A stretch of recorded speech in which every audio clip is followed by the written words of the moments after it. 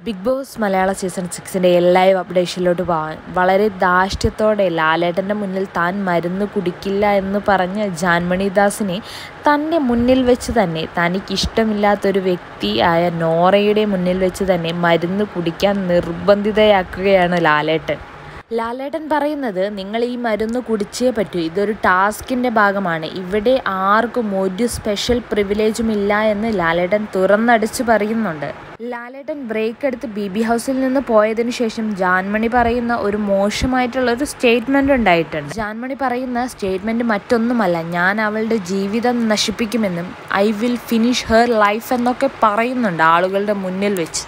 ഒരിക്കലും ഇത്രയും വൃത്തികെട്ട മനസ്ഥിതിയുള്ള ഒരു കണ്ടസ്റ്റന്റിനെ ബി ബി ഹൗസിൽ വെച്ച് പൊറപ്പിക്കാൻ കഴിയില്ല. എന്തായാലും ജാൻമണി ഈ ഒരു വീക്കിൽ നിന്നും ബിഗ് ബോസ് ഹൗസിൽ നിന്നും പുറത്തായാൽ അത്രയും നല്ലതെന്ന് പ്രേക്ഷകർ വിചാരിക്കും. നിസ്സാരമായ ഒരു കാര്യത്തിന് പോലും ഒരു വ്യക്തിയുടെ ജീവിതം നശിപ്പിക്കുമെന്നും ഞാൻ അവളെ പുറത്തിറങ്ങിയാൽ കാണിച്ചു കൊടുക്കാമെന്നൊക്കെ പറയുന്ന ഈ ഒരു ജാൻമണി ദാസ് ഇവരാരാണ് ശരിക്കും? ഇവരുടെ വിചാരം എന്തുവാ? ശരിക്കും ഇങ്ങനെയുള്ള കണ്ടസ്റ്റൻസിനെ ഒരിക്കലും ടോളറേറ്റ് ചെയ്യാൻ പറ്റില്ല.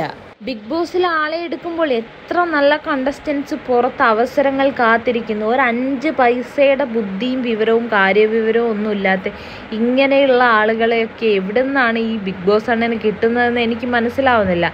കാരണം ഒരു വ്യക്തിയുടെ ജീവിതം നശിപ്പിക്കുമെന്നൊക്കെ പറയുന്നത് വളരെ വലിയ തെറ്റാണ്. ഇത്രയും വലിയ വാക്കുകളൊക്കെ പറയാൻ ഇവരാരുമാണ് എന്തായാലും ഈ ഒരു പ്രസ്താവനയ്ക്കെതിരെ ലാലേട്ടൻ സംസാരിക്കുമെന്ന് തന്നെ വിചാരിക്കാം.